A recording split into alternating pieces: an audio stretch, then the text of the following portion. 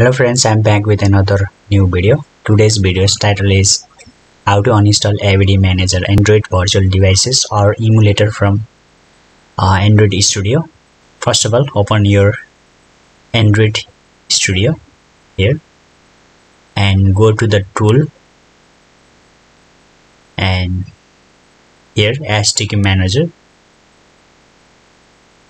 Here look at that uh, android avd managers here. And select your installed avd manager here and click here and apply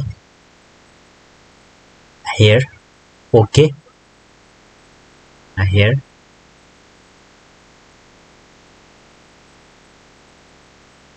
It, it, it takes sometimes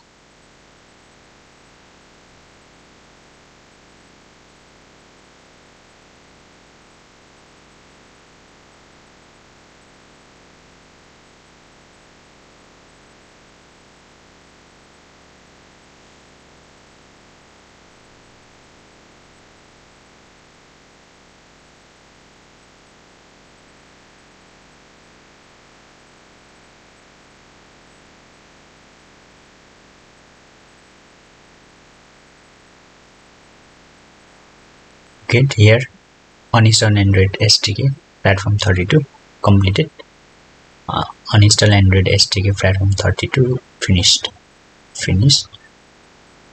And okay. Now here tools. Sdk manager. Here.